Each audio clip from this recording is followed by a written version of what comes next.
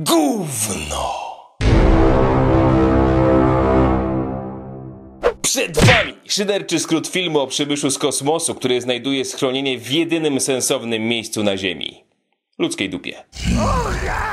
Zanim przejdziemy do sedna, zostawcie suba, już nigdy nie przyczepi się do was żaden obcy. A teraz zakumplujemy się z pasożytem. No! God, please, no!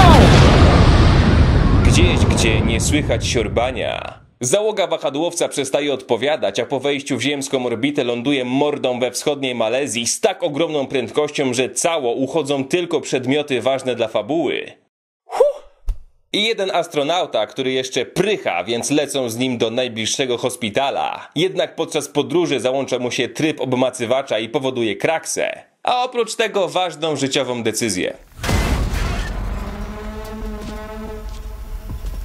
Jej ciało natychmiast się regeneruje, a po wyciągnięciu Google Maps, to znaczy logo korporacji, rusza w drogę. Te, to będzie jej Google Maps. Tymczasem Eddie Brack przyjmuje bombę na ryj od swojej ukochanej, a potem wsiada na motorynkę i lecąc przez San Francisco pucuje się swoim portfolio. Homelessness is only increasing into the thousands. Łapiecie? Jest reporterem. Po zaparkowaniu na miejscu dla kutafonów i olaniu ciecia, odwiedza szefa, który wiedząc, że jest świetnym reporterem śledczym mającym we krwi zadawanie niewygodnych pytań, zleca właśnie jemu wywiad z czarnym charakterem, pod warunkiem, że nie będzie zadawał żadnych niewygodnych pytań. To musi się udać!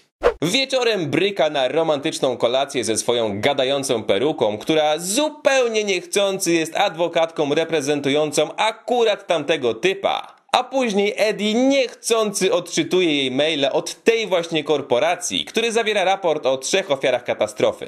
Góra z górą się nie zejdzie, ale głowa z dupą zawsze. Kolejnego dnia Drake oprowadza gówniaków po swoim multimedialnym straganie, wpajając im coachingowe brednie, gdy nagle jedna z dziewczynek podnosi rękę chcąc zadać pytanie, ale reszta ją ucisza. Więc żeby pokazać wszystkim, że zadawanie pytań jest ważne, zaprasza ją na środek, wręcza laur konsumenta i zmienia temat. O, patrzcie, samolot. To było poniżej pasa. Każdy dałby się przekupić tak prestiżową nagrodą. Eddie, przeprowadzając z nim wywiad, powoli zadaje coraz bardziej niewygodne pytania. Kto mógł to przewidzieć? I zostaje wykolegowany z budynku, a później szef z nim zrywa. You're fired, Eddie. Y, Eddie jest za tobą. E, nieważne.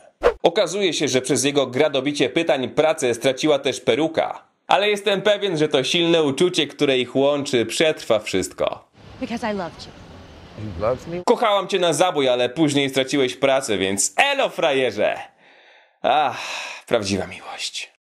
Tymczasem w deszczowej części San Francisco Drake odbiera dostawę świeżych symbiontów i z miejsca mu staje. A pani pielęgniarka trafia na targ z żywymi zwierzętami i wżera jedno na surowo. Ugh, here we go again, kur... Ale nie ma drobnych, więc robi wszystkim darmową akupunkturę, a później postanawia przejąć ciało starszej kobiety. Po co? Cegle jaj. Mija 6 miesięcy i w laboratorium Drake'a bananowy symbiot przejmuje ekran ładowania w kształcie króliczka. Więc Drake natychmiast rozkazuje rozpocząć testy na człowiekach, bo jest zły. Eddie tymczasem zalicza bar, a później jest świadkiem kradziejstwa w sklepie, ale przynajmniej wracając do domu widzi jak dwie niunki liżą się w korytarzu. E, nieważne. Próbuje medytować, ale kudłaty odpala roka na opór maksu, więc bez zastanowienia idzie pod jego drzwi, żeby wrócić. Ma szczęście, że Tom Hardy tutaj gra, bo już by go zajebał. Ruszają testy na człowiekach i pierwszy z nich już z szerokim uśmiechem na mordzie i niepohamowanym entuzjazmem zmierza do puszki z niespodzianką, na którą jednak słabo reaguje i zdycha. Niestety, prezent niespodzianka nie zawsze jest trafiony. Po kryjomu asystentka Drake'a przykleja się do Ediego w sklepie, namawiając go do zrobienia reportażu o nieudanych niespodziankach. Ale po tym, co zrobił mu Drake, nie chce mieć nic wspólnego z Life Corporation, więc idzie pod dom swojej byłej. Ach, kto z nas tego nie robił? Patrzenie w jej okno, wspominanie, palenie opon. Anna właśnie wraca z randki ze swoim nowym ukochanym zatrudnionym i zlewa romantyczne wyznania Ediego. Mimo, że zawsze działają w komediach romantycznych. Nie rozumiem. Załamany jeszcze bardziej, idzie na most i robi to, co każdy facet, który został odrzucony. Dzwoni do mniej atrakcyjnej laski.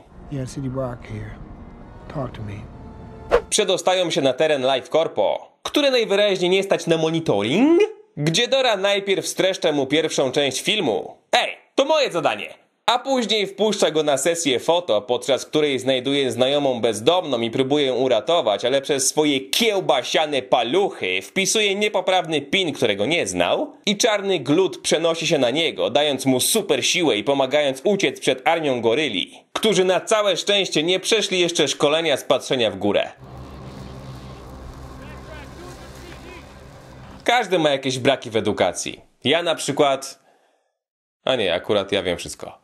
Eddie wpada do mieszkania na tak mocnym gastro, że dosłownie wciąga śmieciożarcie, które wchodzi mu tak szybko jak wychodzi. A później analizuje, co się w ogóle od Janie Pawliło, gdy Drake odkrywa, że drugi pacjent dobrze znosi przemianę i rozkazuje przyspieszyć na nim testy. Bo jest zły!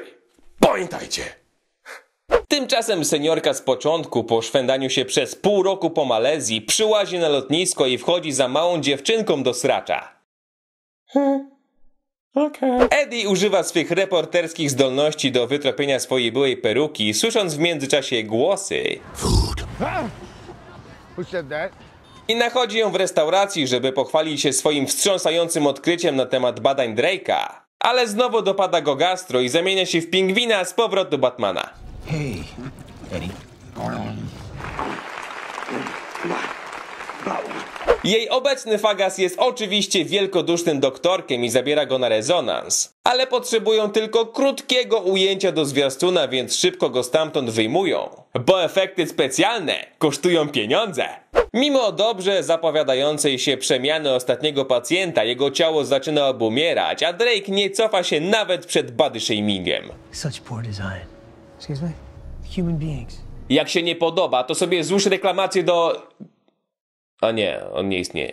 Odkrywają też, że podobnie jak wszystkie mamy świata, symbiont źle reaguje na zbyt głośną muzykę. Przecież ten łomot!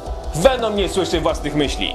Eddie za to słyszy wszystkie myśli kolegi z dupy i kończy telefoniczną konsultację, po czym idzie uciszyć pajaca spod czwórki, który reaguje jak jakiś przerysowany kutafon z filmu, więc na moment staje się prawdziwym Tomkiem Hardym. Yeah, sure, man. Yeah, I'll just turn right down. Thank sorry. Tymczasem pani Fartuch zostaje przyciśnięta i rozpruwa się jak stare gacie, sprzedając Ediego. A w nagrodę za szczerość może pobawić się z nowym pupilem w umieranie. Bo Drake jest zły! Ile razy mam to powtarzać? Ediego odwiedza natomiast ekipa windykacyjna po własność Drake'a, ale Venom aktywuje jego rękę od pałowania i robi z nimi porządek.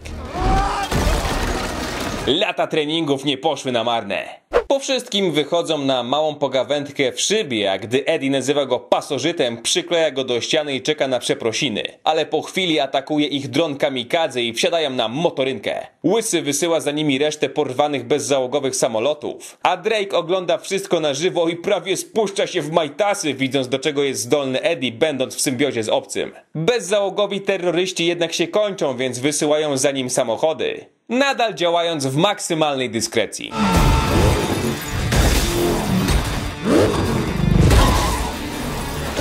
Jednak Eddie w końcu nie zauważa znaku pierwszeństwa i ląduje mordą na drodze. Gdy przystojniejszy Bill Burr idzie go zdrapać z asfaltu i zawieźć do szefa, Venom regeneruje jego ciało i pojawia się na wieczorne menu. Eyes, lungs, pancreas.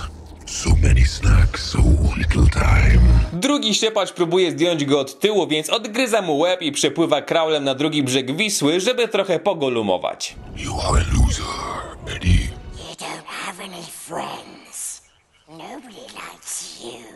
Symbiot chce zdobyć rakietę i stąd odlecieć, bo nie chce już żyć na tej planecie.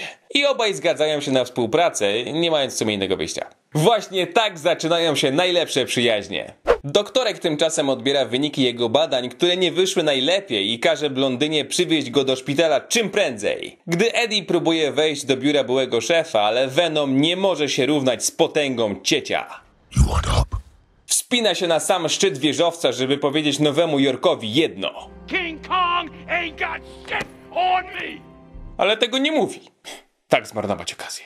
Za chwilę jednak pilot Boeinga leci tak nisko, że mógłby przybijać piątki z przechodniami, a Venom sparaliżowany tym dźwiękiem chowa się w dupie Ediego. Ale na szczęście w porę wraca i zostawiają w biurze szefa dowody obciążające Drake'a, a wraz z nim list motywacyjny. Symbiot każe mu skakać, ale Eddie wybiera trochę mniej imponującą drogę. Pussy.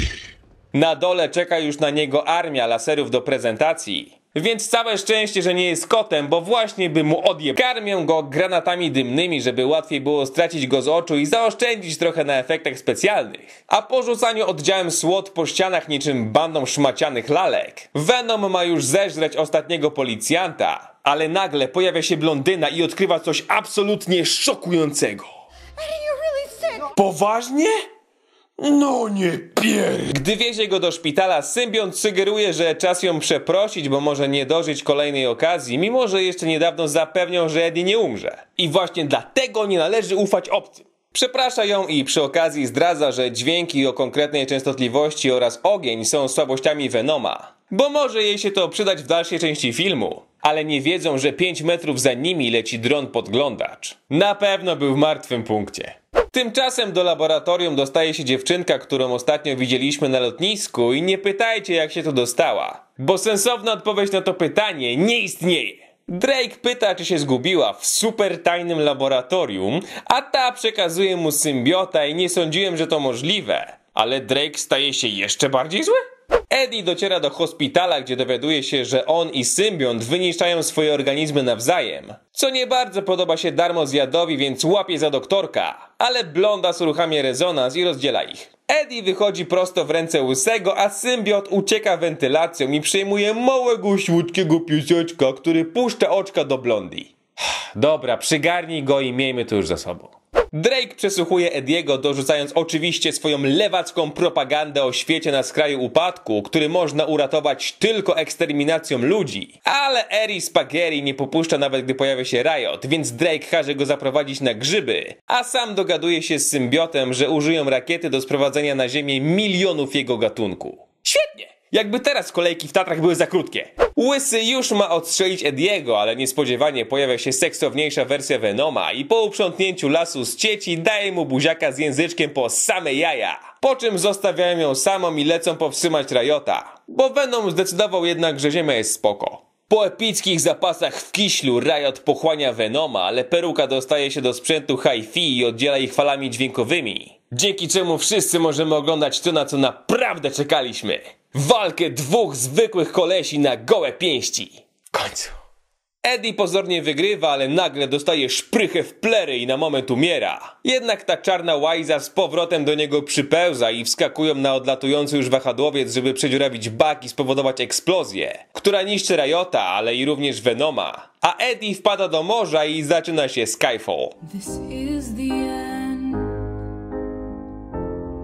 Po wszystkim, jak gdyby nigdy nic, Eddie dyskutuje z peruką na temat tamtego pocałunku, ale jak to dupa, wszystkiego się oczywiście wypiera. A chwilę później okazuje się, że symbiot nadal siedzi w jego dupie i idą na małą przekąskę do sklepu. I to był właśnie szyderczy skrót filmu Venom. A jak wam się podobał sam film? Czekacie na sequel? Dajcie znać w komentarzach. Kolejny szyderczy skrót już najbliższy piątek o 18, więc zostawcie suba, łapkę w górę i widzimy się już niedługo. Do zobaczenia!